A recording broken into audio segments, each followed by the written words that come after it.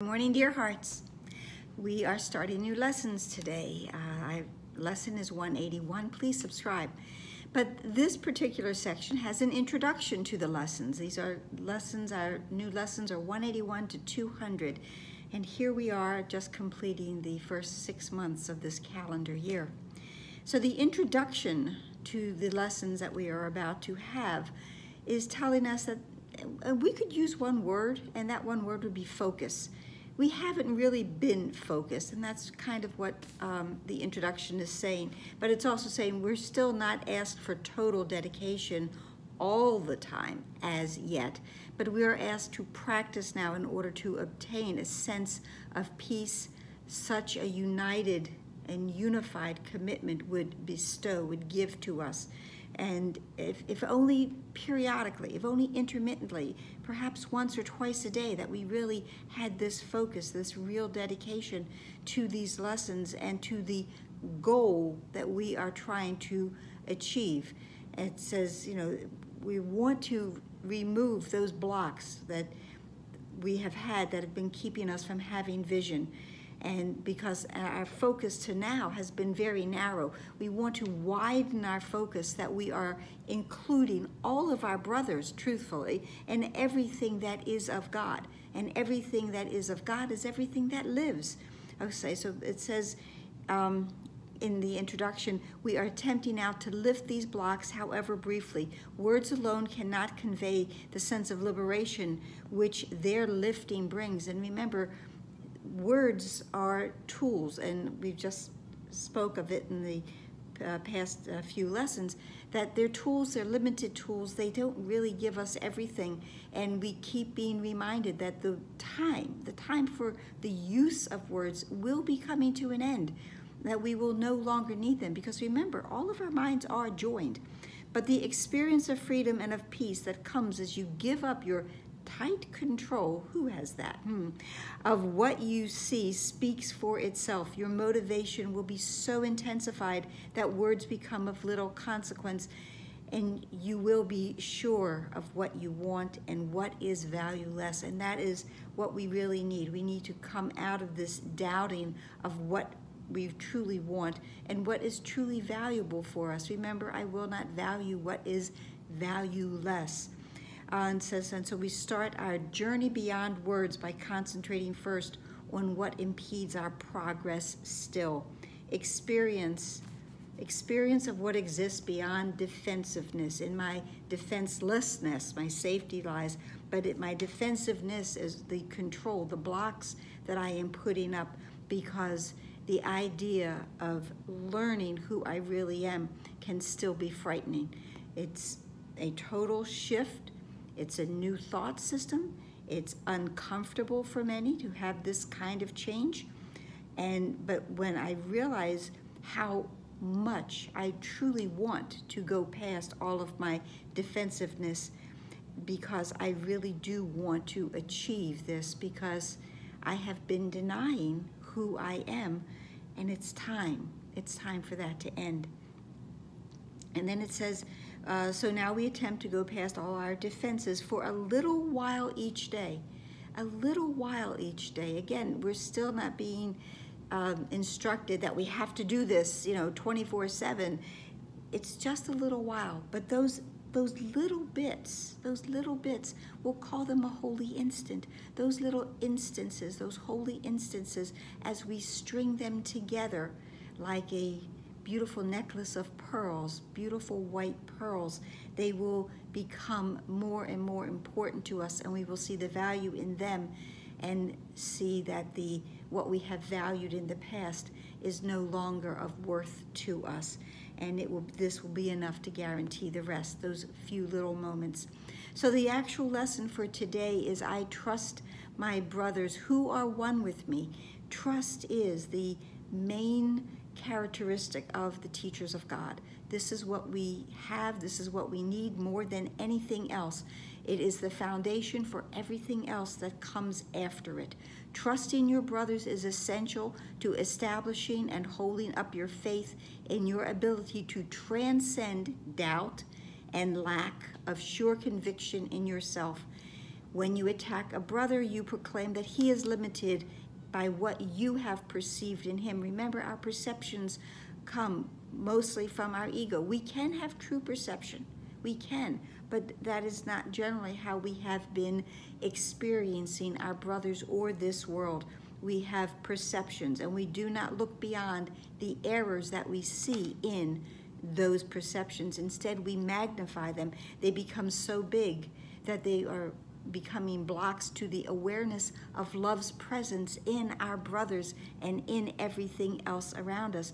The blocks of your awareness of the self that lies beyond your own mistakes and past his, your brother's, seeming sins as well as yours. So not only am I blocking what my brother truly is, but I am blocking myself as well because again, we are one. And then the lesson has that, you know, change but your focus we've heard change your change your thoughts change your life change your focus. And as we change our focus what we behold will change accordingly. Um, th this faith having faith in what we are perceiving now remove your focus of your brother's sins and you experience the peace that comes from faith in sinlessness. Let me behold the sinlessness in my brother and in myself. And this faith receives it, it's only sure support for from what you see in others past their sins. Because remember, if I'm seeing my brother's sins, his atrocities even, I'm seeing not just mistakes because they have a, in my mind, my perception, they have a much greater and more dire and lethal focus. If I'm sharing that even within my own mind, I am strengthening that, and it's going to make me harder to transcend that, to come into the light and to see the sinlessness that really is beyond all that I believe I am seeing. Uh, the lesson continues, we instruct our minds that this is, it is this we seek and only this for just a little while, only now. And then it says a major hazard to success has been our involvement with the past and the future goals. We have spent very little time in now, and yet we know that now is the only time. And we've been quite preoccupied how extremely these different goals this course is advocating are from those we held before. It's a new thought system. It is completely different. Um, and you have also been dismayed by the depressing and restricting thought that even if you should succeed, you will inevitably lose your way again. But that is not necessarily true. We might, we might lose our way. We have wandered off, but every time we wander off, our elder brother, Holy Spirit, calls us back because we truly want to go back. And how could this matter? For the past is gone, the future but imagined.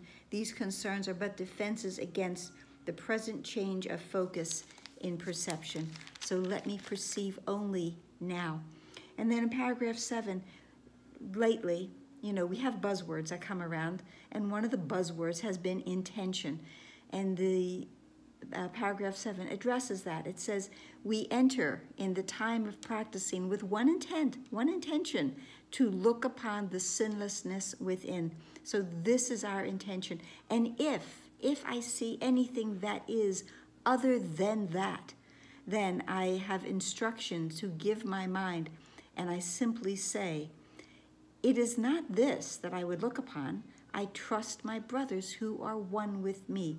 And this is our mantra for this lesson that we can go to every time. It does not say, the, the practicing is not laid out. Um, like it has been in, in other lessons. But I'm going to say we practice in the morning and we practice it at night, just as we have been doing. And hourly, and hourly, if we can simply re remember to say that it is not this that I would look upon, I trust my brothers who are one with me. This is where we are building those little pathways within our mind to change our thinking. So it says we do not seek for long range goals. We want to come and do this only in the now, to be here now. And as each obstruction seems to block the vision of our sinlessness, we seek but for uh, that to stop for just an instant. It says surcease. the misery that focused upon sin will bring and uncorrected will remain. We don't want that misery. We want to rise above it. We want to see the beautiful sinlessness in both our brother and in ourself. It says, and as our focus goes beyond mistakes, we will behold a holy, sinless world. When seeing this is all we want to see, when this is all we seek for in the name of true perception, are the eyes of Christ inevitably yours, and the eyes of Christ only see the light and the sinlessness that is within everyone, and we will see a light around the edges of our brothers. We will see that the truth of who we are and who our brother is is one. We are one with them, and I trust my brothers who are one with me, and I will see only that. And we give our trust to the experience we ask for now. Our sinlessness is but the will of God. This instant is our willing one, our willing one with His. Oh, any one with His. God's will is all there is. There is no will but God's, and we share in that as we trust our brothers who are one with us that's it for today. Uh, I hope this helped. Please like, please share, please subscribe, please pray. Please try to have at least one instant today, just an instant, one little speck of time where this feels as it is the perfect guidance that you need in that moment and see the blocks that will start to fade away from your awareness of the truth of who you are and who your brother is. Namaste.